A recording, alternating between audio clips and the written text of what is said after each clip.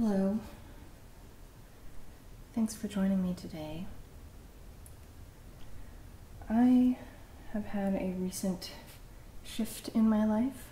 I recently moved into a new place, a new home, and I have a whole bunch of stuff that's in boxes, uh, specifically books that I need to unpack and fill my bookshelves with.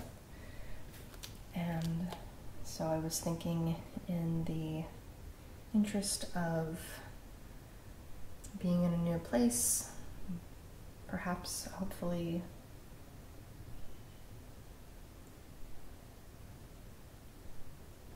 reconfirming old habits in regards to ASMR videos. I would try filming some videos of unpacking and talking about some of the books in my collection.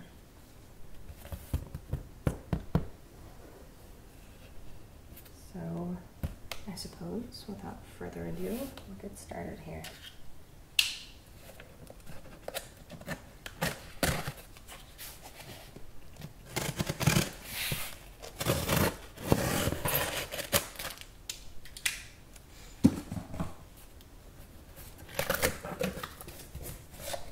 I I don't really know what's in each box. Uh, I sort of just put books of similar size in each box, and I figured I'd figure it out when I got here. So I'll just start picking some books out at random and talk about the ones that I find interesting. So, first random book is a book I haven't read. This is City of Weird uh, and 30 Otherworldly Portland Tales. It's sort of funny that I have this. I some years ago I was considering moving to the Pacific Northwest and I think this book came from that effort when I was learning more about the area. And I don't live in Portland now.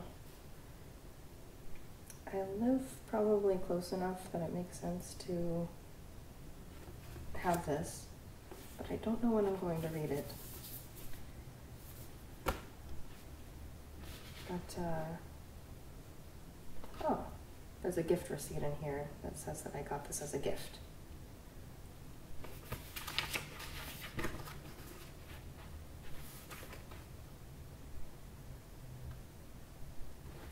Let's see, does it have a date on that?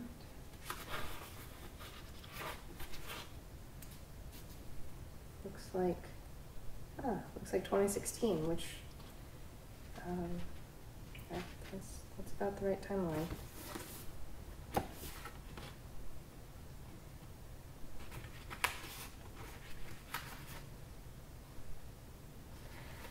So it's a history book, but it's a history of the weird stuff about Portland.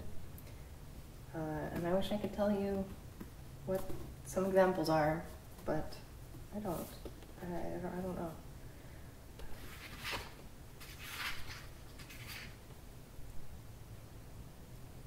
And the table of contents doesn't really. The titles are a little abstract, so they don't really illustrate it, but uh, there's a story called Octopocalypse, a love story. How I got this job, a sky so blue. How do you say gentrification in Martian? Mind body problem. Squatty and Weasel Boy. The deflowering. Notes from the Underground City.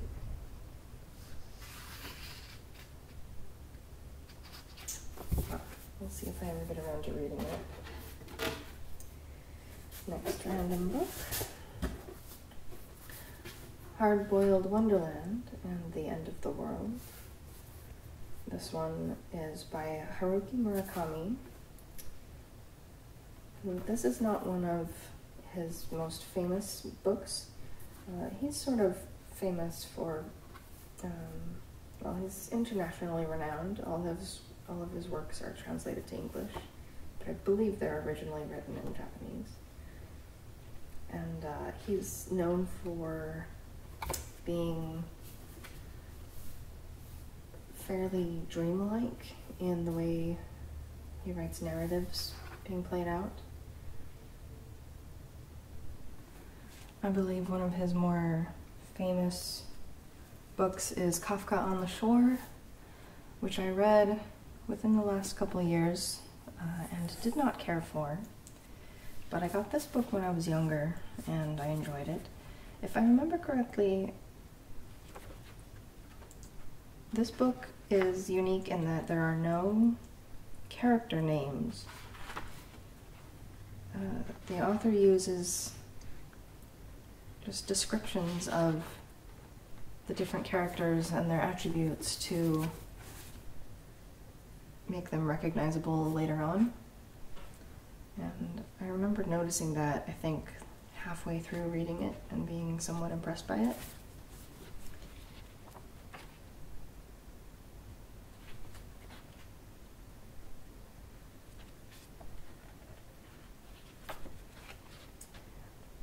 honestly, it's been long enough since I read this, which I think was when I was a teenager, that I don't remember anything that happens in it.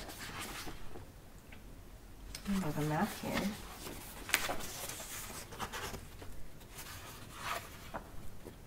I'm not sure what it's a map of.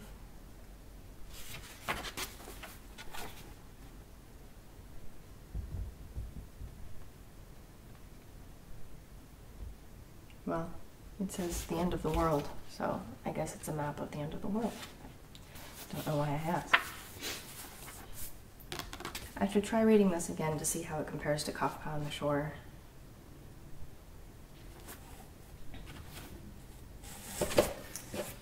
Alright, next one. Ah! so, Fight Club, uh, that happens to be styled based on the movie. So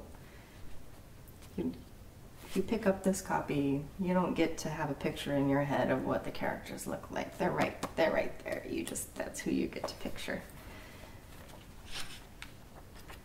Um, this one is by Chuck Palahniuk, who I also read. I, I've read other books of his also when I was younger, I think in college.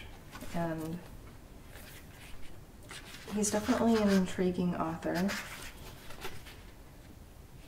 Very distinctive writing style.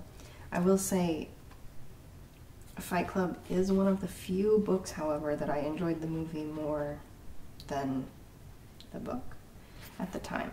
I was in college and I was just discovering movies for the first time too. I mean, discovering, I don't know, I was. I had a Netflix subscription for the first time, which at the time uh, was DVD, was a DVD mailing service, and so I was just devouring as many movies as I could. There was a specific summer that I tried watching every movie I could get my hands on that seemed culturally significant. And this was one of them, and I loved the movie. I have learned since then that I relate to that movie in a different way than maybe some other demographics do, but I I think the movie is well crafted. The storytelling is very good. Uh, in this book, there's not as compelling a narrative rhythm or sense of conflict or twist. So, I don't know, but probably a lot of these books I'm gonna, I read when I was younger and might have a different perspective on if I were to read it now as a slightly more mature adult. I'm not really sure.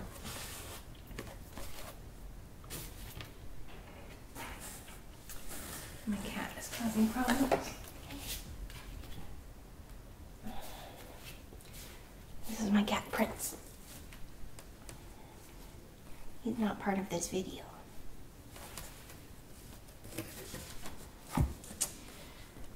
Okay. Mm. This is Sin City.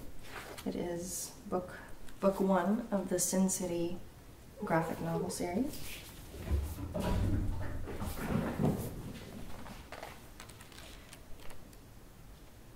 This is the one featuring my favorite character from Sin City.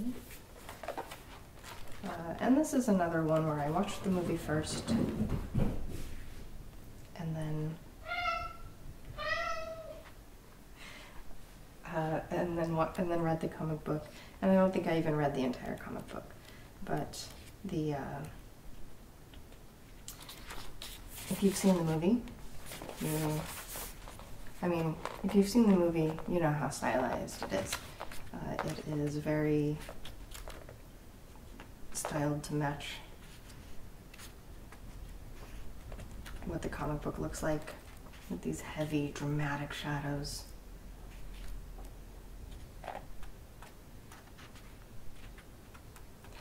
I also haven't seen the movie for a long time. I don't know if I would like it as much as when I was younger. But I did really like this character whose name oh, I can't quite remember, so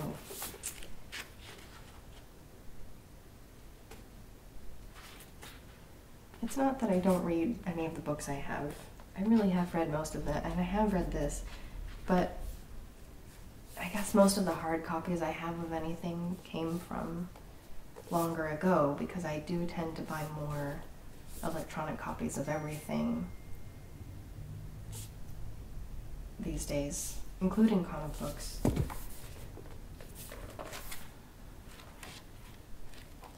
I I definitely there's been a lot of discussion lately online about how, I mean, there probably always is, but lately uh, there have been some streaming services and such that have taken different beloved shows just off the services, and so there's a lot of discussion about how that, that that's why we need hard copies of things because it's so easy for electronic media to just disappear at the whims of a corporation. And I tend to agree with that. Uh, the limiting factor for myself, and I think a lot of people, is well, space. Uh, and in this new place I've moved into, I have more space than I used to, but like right now, I only have my two bookshelves, and in order to get more, I'm going to have to reconfigure my space. I need taller bookshelves. Anyway, it's going to be expensive and it's going to be um, an ordeal. And depending on your lifestyle, you may or may not be able to install bookshelves. And uh, anyway, um, so right now convenience wins out. I imagine as I get older, I don't know, I'd like to be one of those people that have just a big library. Like lots of bookshelves, a ladder to get to the top that like slides along. That'll be like something I have when I'm old, old, like retirement age or whatever.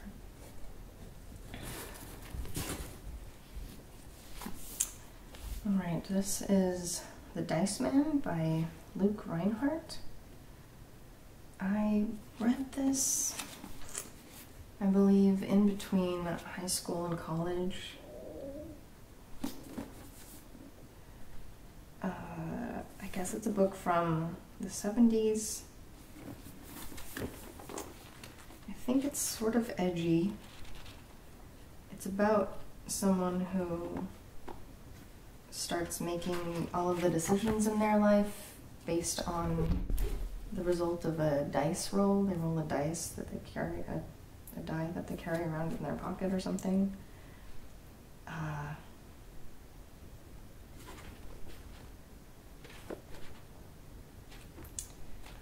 I don't remember the protagonist being likable. In fact, I don't remember much about this book at all.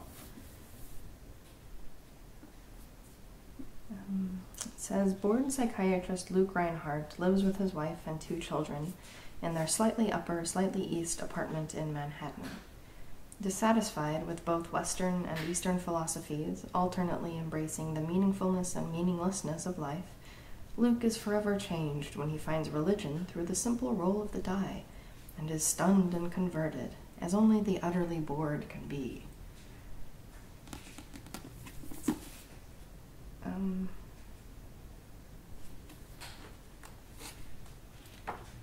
I don't remember it well enough to say if I can recommend this or not, and I'm not likely to read it again, so I should probably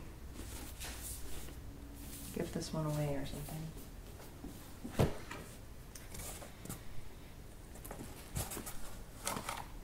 Oh, this is not a novel or anything, it's just a uh, it's an instruction book, watercolors. It's, um, how to paint in watercolors.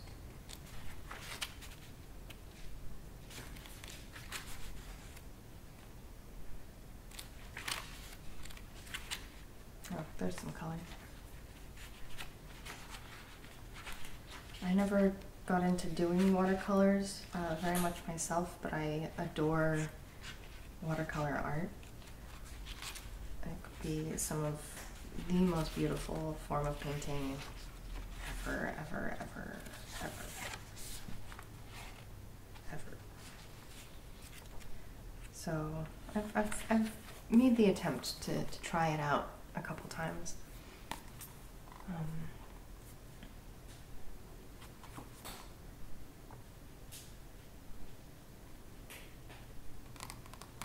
Oh, uh, recommendation. If you're into watercolor ASMR videos, Swarms ASMR has a lovely uh, series of watercolor videos. Are they a series? I think she has more than one.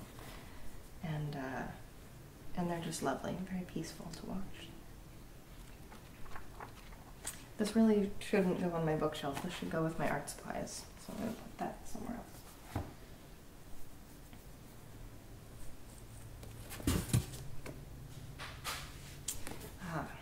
Another comic book. This one is Attack on Titan, the first, the first one. I have seen the first three seasons of Attack on Titan, and keep meaning to catch up, but I haven't yet.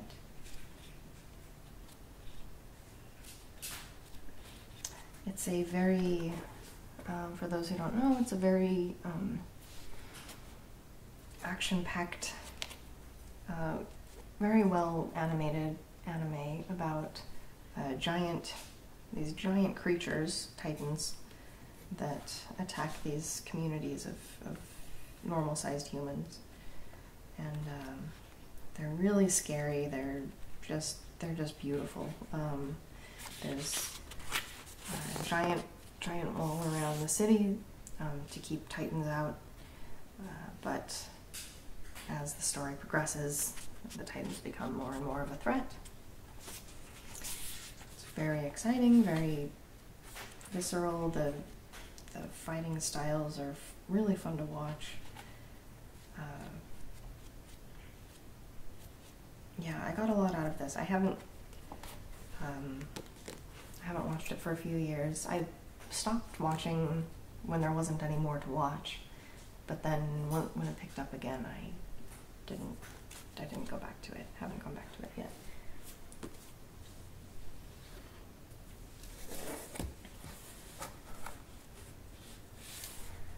Uh, let's see. Gorillas in the Mist by Dian Fossey. So uh, I know this is a film, and this cover is a photograph from the film, but the the book itself is a memoir from a naturalist who studied uh, gorillas in the Congo, I believe. Hmm. No, Uganda and Zaire and Rwanda.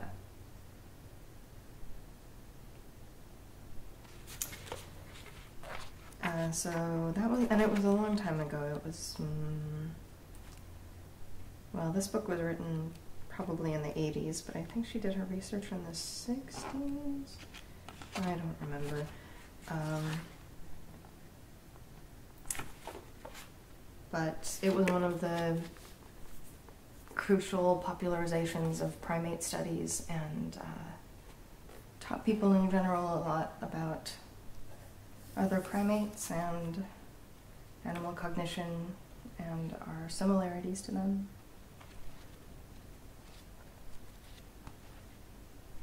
Oh, gorilla. I haven't read this book though. Full disclosure. That's one of the ones I never quite got to. I know of it, I guess, a little bit, and that's it. Hmm. This is Life of Pi, Yann Martel, and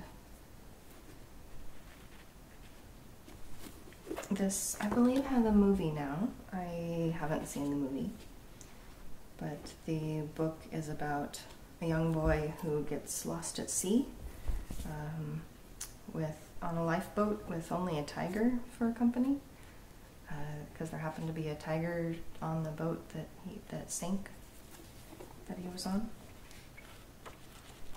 and I remember really enjoying it. Uh, this was another one I read in college, so my memory of it is not amazing. But I remember it being really it's it's an adventure book essentially. And plays out like an adventure book. He goes on an adventure on the in on the ocean. Sort of in the same genre as I don't know Hatchet, which is a much smaller book. This has a lot more meat to it. Um, Castaway, the movie, you know, he's trying to survive in a hostile environment and finds some wonders along the way.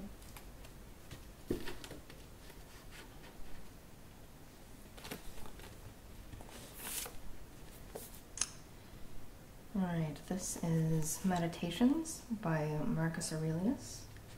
And if I'm not mistaken, this is primarily a collection of thoughts from his journal, diary. Uh, Marcus Aurelius was a philosopher. I believe he also became emperor, if I'm not mistaken.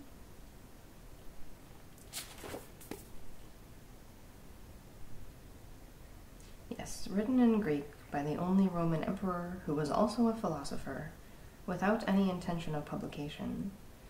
The Meditations of Marcus Aurelius offer a remarkable series of challenging spiritual reflections and exercises developed as the emperor struggled to understand himself and make sense of the universe. Uh, it was written, or Marcus Aurelius lived from AD 121 to 180 so a long time ago, and I think he is known for his Stoic philosophy. I may have featured this book in a previous video. Look, I found a leaf. I guess I was pressing a leaf for some reason. I don't know why I did that. It was like paper thin. Oh, it's on this page. Let's see.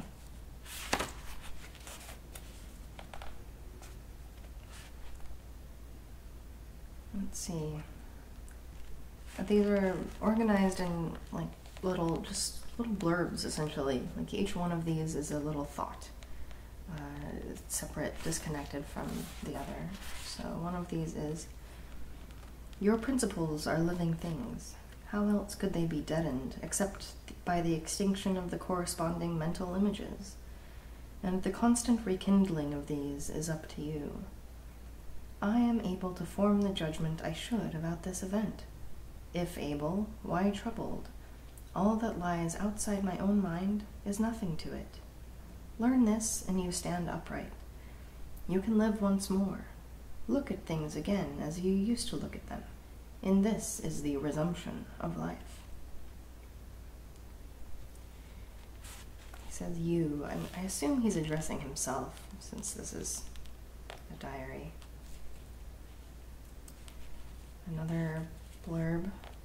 How many who once rose to fame are now consigned to oblivion?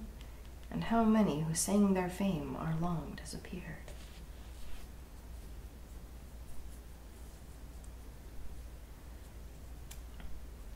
Do not be ashamed of help. It is your task to achieve your assigned duty, like a soldier in a, in a scaling party. What then if you are lame and cannot climb the parapet by yourself?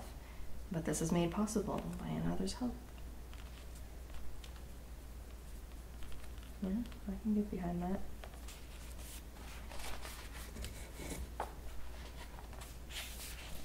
Um, yeah, so lots of thoughts about stoicism, you know, accepting what is, uh, letting go of things that you can't control, that type of thing.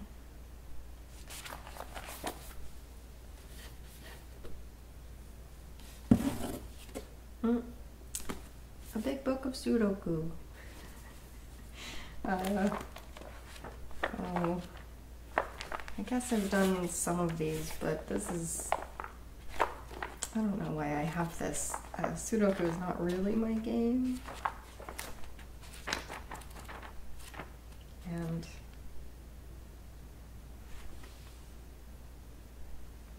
Oh, looks like my brother did some of these too. Uh, I, I guess this was just a book that we had, that I had when I was a kid, maybe for doing puzzles on car rides or something. I'm not really sure.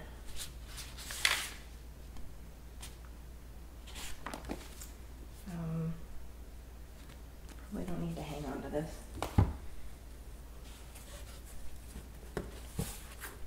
Hmm. A Wrinkle in Time uh, by Madeleine, I don't know how to say her name, Longley. I'm gonna say that, that sounds nice. Uh, fairly famous children's fantasy novel about a family of um, gifted and slightly different children that uh, there's a whole series. They go on some magical adventures and discover various secrets about the universe. I read the series when I was a kid, but I don't have strong memories of it. I think it involves the protagonist, Meg, going on a search for her dad, who went missing some time ago and she meets some witches who are actually these creatures. Um, it's a little strange, and as a kid, I remember really, really, really liking it. Uh, I guess this is an old library book that I picked up in a library sale. Um, I assume, unless I just kept it from the library, but I, I doubt, I don't, I wouldn't do something like that.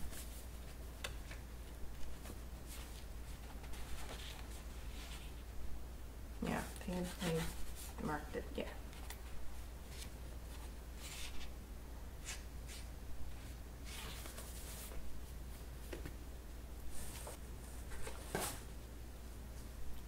Mm-hmm.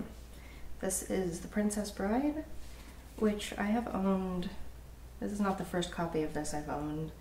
Uh, I think I, I had a copy from one of the original printings in the 80s, I think.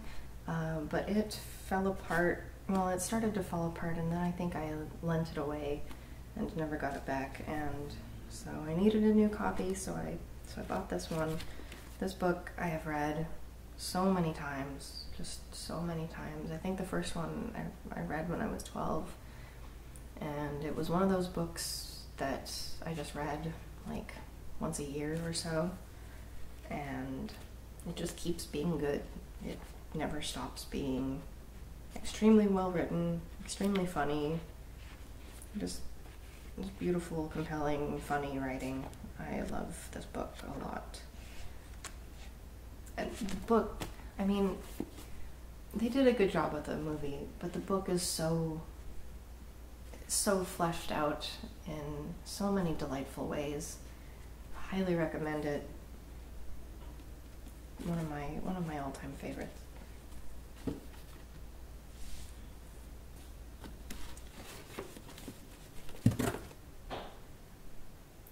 Other books turned into movies. This is Holes by Louis Sachar.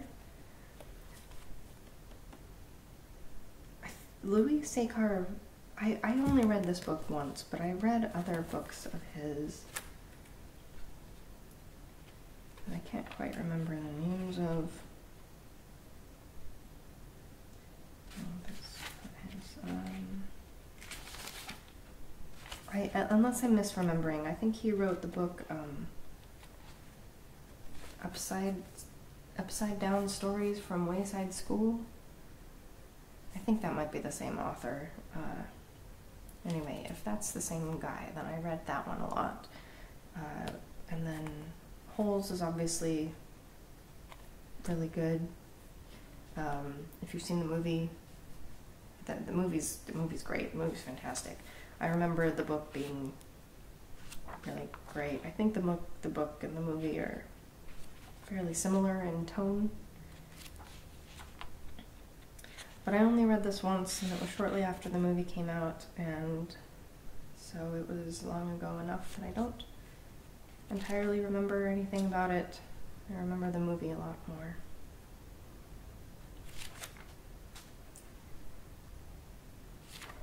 Um, I might read this again at some point. I don't know. There's a lot of there's a lot of stuff to read.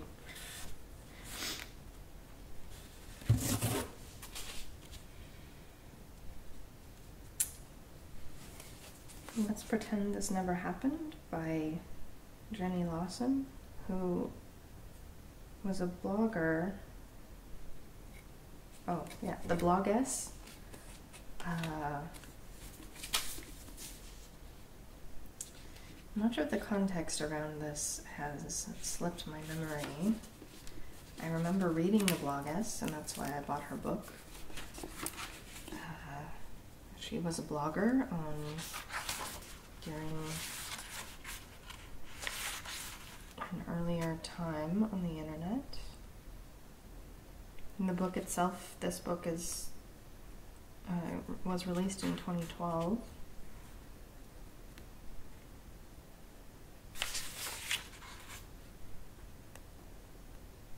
So the late aughts, early 2010s uh, were were bigger days for blogs, and I think she was a fairly well-known one, and so her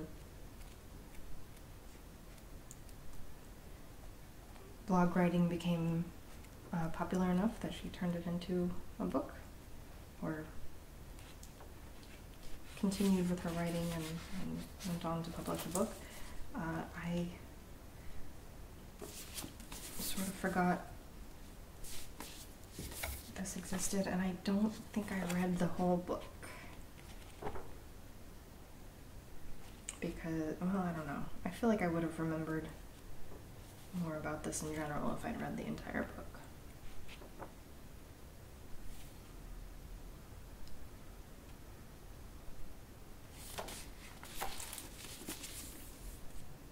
If you remember anything about the blog, s let me know, because I don't.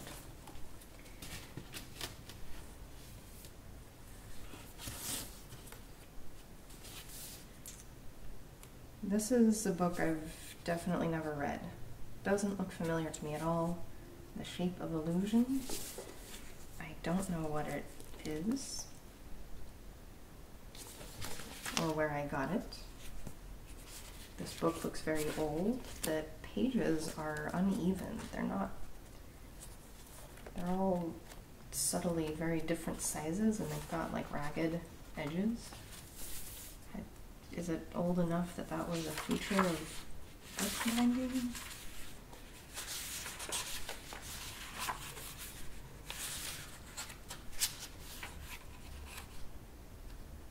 There's no copyright uh, information in, in the beginning. That's weird. Um, okay, so the summary is the painting was just as mysterious as the New York art dealer had promised. The work of an obscure German artist, the scene showed Christ leaving the palace of Pontius Pilate under the guard of Roman soldiers, forcing their way through a stone throwing mob. There was no doubt that it was a true masterpiece of Renaissance art. But for the four people who gathered to view it, the picture possessed a quality that was absolutely unique. As each of them looked upon it, he found himself clearly depicted as one of the howling mob.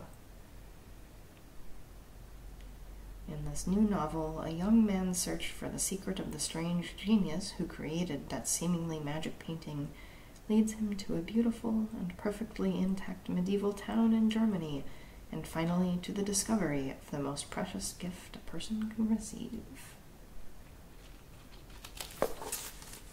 Uh, so, may or may not be a book with some religious themes, sounds like. William E. Barrett.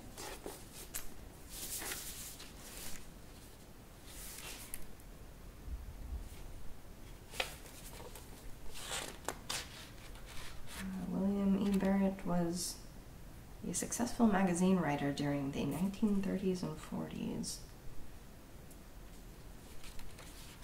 I don't know why I have this book. I might have. I don't know why I would have picked it up at a thrift store or something. Um,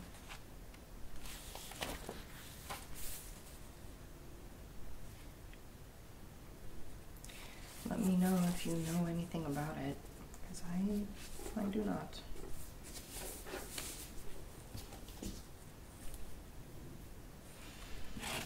Let's see. Mm, Knife of Never Letting Go. I got this book as a gift at, uh, for Christmas once, and um, I believe it's. It, I remember it being a really easy read. It wasn't. Uh, it it's big, but it's but it's really easy. I think I flew through it. I'm not sure if it's a young adult novel. I think it might be, but. Um, excellent. Really, really good. Um, it's about a world where people, well, uh, some people's thoughts are clearly audible to others. So there's a there's a unwilling telepathy um, element in the universe that these characters live in, and I found it extremely compelling.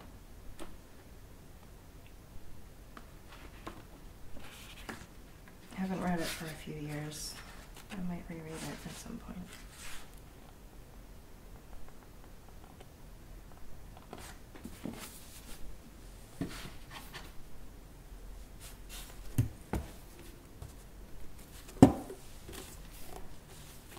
This is the Bioneers Declaration of Interdependence. This was one of my course books in college. I took a bioethics class as part of my biology studies, and this was this was the book that that it was like our textbook that we were assigned to do readings from, and it basically illustrates um, various cases over the years of uh, events where biotechnology had a ethical um, dispute or conflict or quandary within it. So chapter one is called Cleopatra's bathwater. Oh, that's an idiom. I don't, or like a phrase. I don't know what that refers to. But the subsections are John Todd's alternative greenhouse effect and Donald Hammer's shallow ecology. Chapter 2 is called The Web of Kinship, with the subsection Vandana Shiva and the Vision of the Native Seed. Chapter 5 From Agribusiness to Agriculture, subsections Fred Kirschenmann and the Soul of the Soil. The next section Anna Edey's Chicken Breath. Chapter 7 Redesigning Society The Second Industrial Revolution.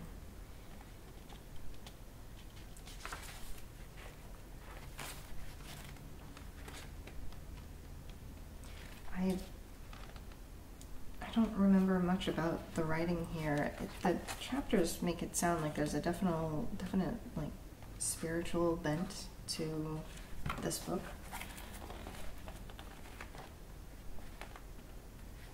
I, I remember being affected by it in some way, and that's why I hung on to it.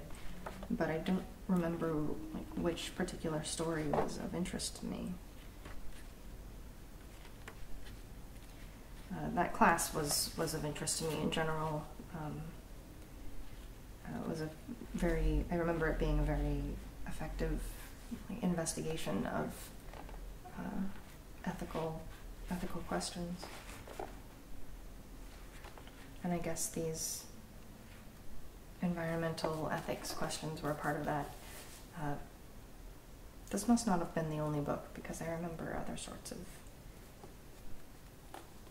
uh, medical ethics questions as well.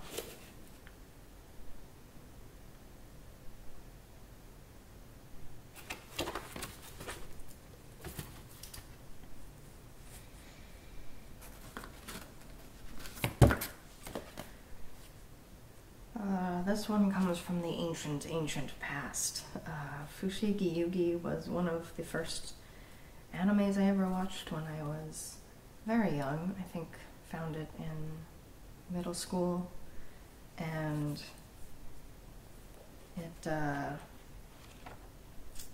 oh, just even looking at this, it's just the nostalgia is just coming over me in waves. Um, this schoolgirl from Japan uh, goes through, she opens a book, I think, and it takes her back in time to magical ancient China, I believe, where she uh, turns out to be the prophesied priestess of Suzaku. And um, she, oh, was my favorite. She has various adventures and kind of collects a uh, uh, the friendships of various beautiful men um, as they help her achieve her mission as the priestess. She's got her, you know, main love interest, and there's also beautiful villains, and everybody's just beautiful. You know how it is. Um, my favorite was Chichiri, who was a monk, and he was silly most of the time, but then he would get deadly serious. And he had a tragic backstory too. Love that. Uh, oh, and she she traveled first traveled with a friend, um, who but they got separated, and uh, what's the protagonist's name? I feel like I should remember. Uh, Miaka, of course.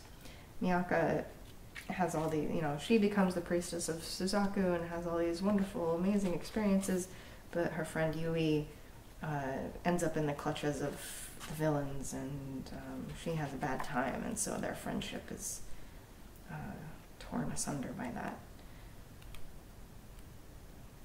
I mean, I remember this anime being really good. I don't know if it, you know, I don't know if it still would be, but uh, lots of good memories of it. And then I tried to find the comic wherever I could. Sometimes they would be in various uh, uh, manga magazines, which it was hard to get manga back in the day. Let me tell you. Um, but then they then they also eventually came out with graphic novels. So that is just part of my past. Um, my first animes were Sailor Moon, very first one, amazing. Uh, Ranma One Half was another early one. Escaflowne, which is a piece of art. Love Escaflowne. Uh, not that the others aren't, the others are good too. Escaflowne is fairly notable as a unique anime, though. Um, and Fushigi Yugi. Those those four were kind of my lifeblood when I was a teenager.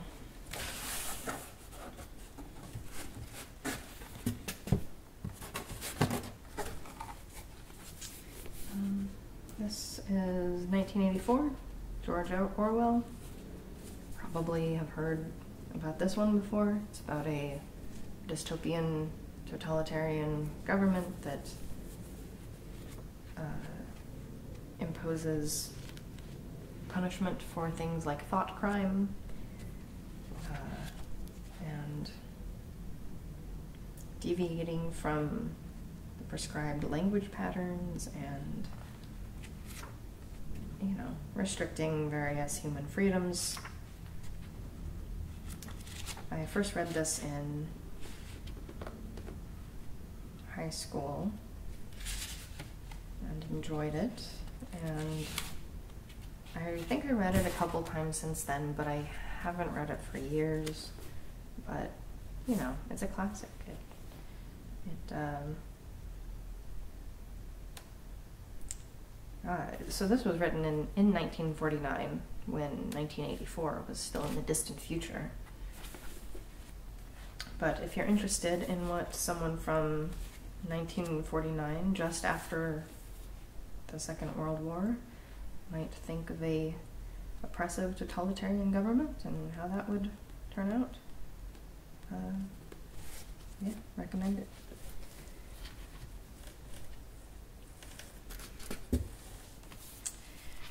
The Little Prince. uh, This is obviously amazing book. To me, it's also representative of unfinished projects.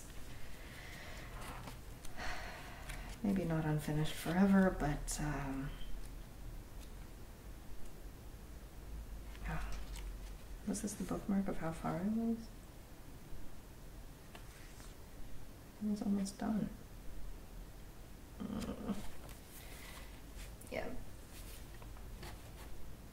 uh, for context, I have other books about the Little Prince on my channel. If you haven't seen those, um, I they were from a long time ago. I put a lot of work into them, and I should have finished that project.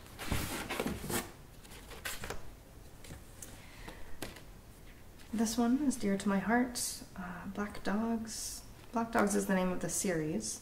Uh, the House of Diamond is, I guess, the name of this book by Ursula Vernon. There are two books in this series. Ursula Vernon also publishes under the name T. Kingfisher.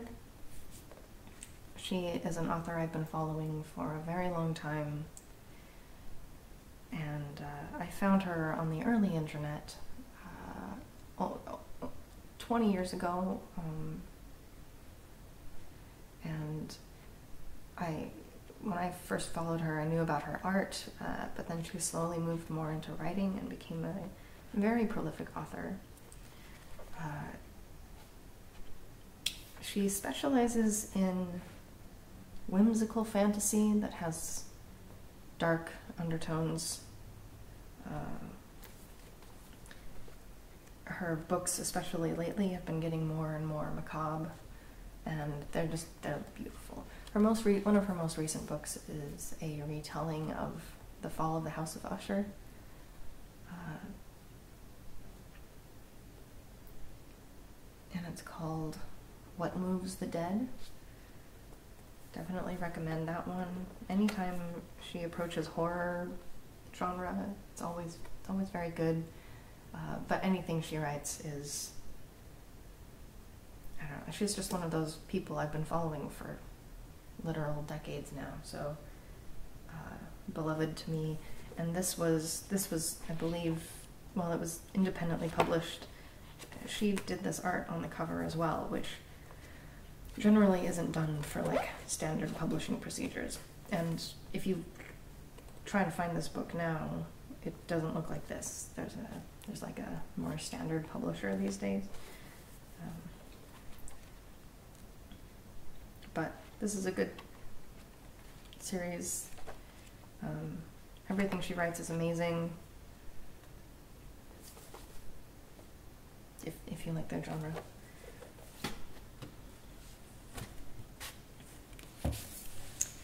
This is good.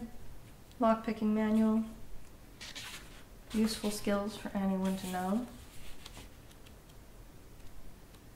Uh, of course, you should only pick locks that you yourself own. But, uh, you know, lockpicking tools are, are cheap and useful. And it's a fun hobby to get into.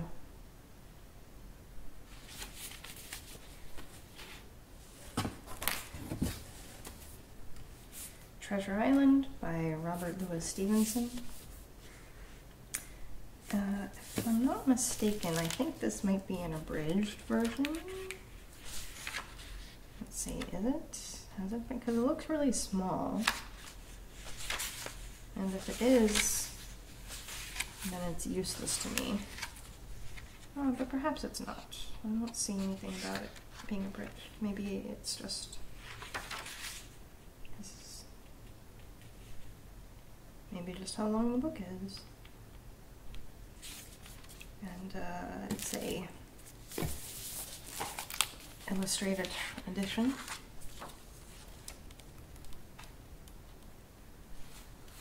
Somewhat illustrated anyway. You might know this story from such masterpieces as The Muppet Treasure Island or Treasure Planet.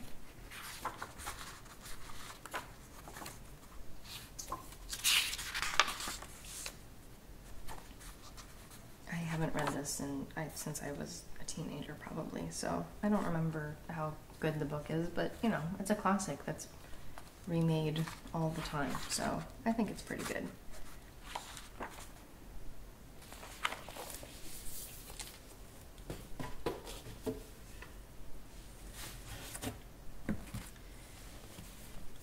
Uh, this is one of the books in the Otherland series by Tad Williams. Uh, this is the fourth book, Sea of Silver Light. I don't know where the first three are. They must be in another book, so we might find those in a future video. Uh, this series was one of the books that that shaped my vision of virtual reality and all of the stuff associated with cyberpunk, things like that. Um, obviously, the first pioneers of that genre, like Neal Stephenson and William Gibson, like those kind of set the stage for books like Otherland to come around. Uh, I believe this was in the early aughts, and as big as this book is, all of the books in the series are this big. They it's a big series, uh, but it is about virtual reality and mostly takes place inside of virtual reality and uh, is well written, is very dense but very good. The characters are phenomenal. And uh, yeah, it's been a while since I've read the entire series. I've, I've most recently, I think like five years ago, I picked up uh, the series again, and I think I got like three books in, and then fell off again before I finished this one. Uh, but if you tolerate long, long narratives and you have an interest in uh, cyberpunk or virtual reality, then this is this is a good one.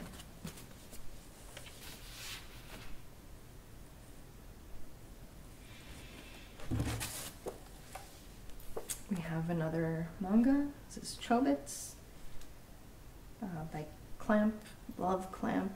Everything they do is beautiful. Chobits is adorable.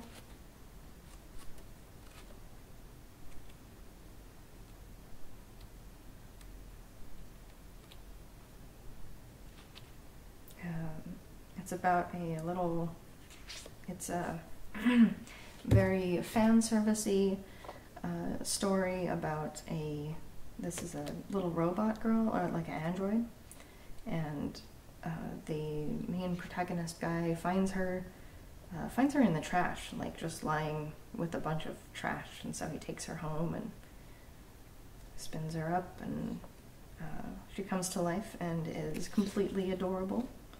And it's also very, you know, sensual and cute, and there's that element to it as well.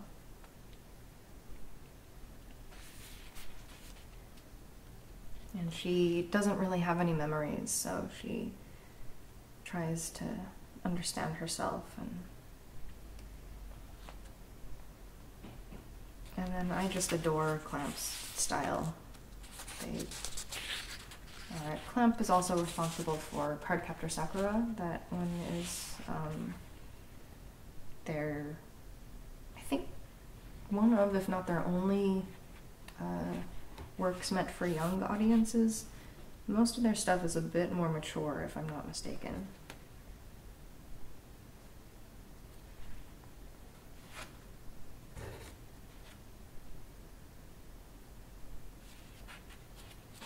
Anyway, so Chobits is very cute.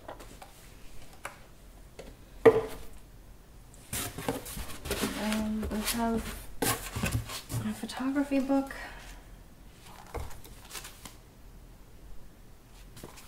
Crazy photography. I don't know where I got this. It's uh, clearly an art book. I I think it must have been given to me. Uh, it's got some. I mean, this is cool. This is I. I'm not super familiar with this book that I own. Uh, it's got some cool like. Um, this. A picture of there's there's a dude here, and he's dressed up and painted to look like the log pile behind him. Uh, so I don't I don't know this photographer. Is it just one photographer? Oh.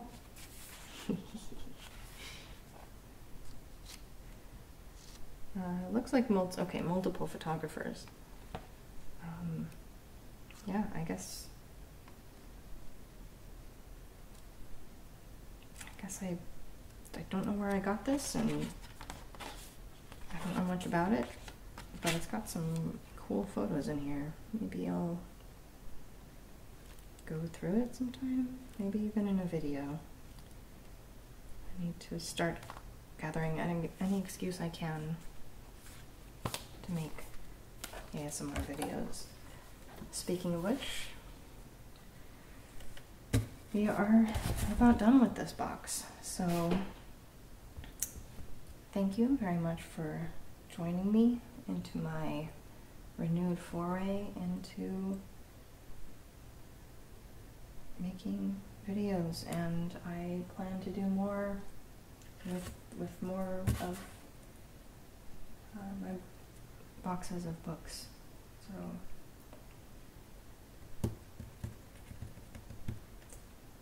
I'm gonna put it out into the universe. I'm gonna make that happen. It's gonna happen. So thank you for joining me. I hope you are well, and I'll see you next time.